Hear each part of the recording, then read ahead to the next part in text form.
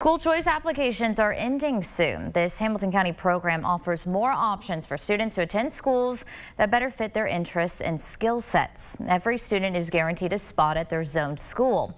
However, school choice provides more opportunities through a randomized choice lottery application. What we want is to try to match the best fit for a student into an area or a field of study that fits them best.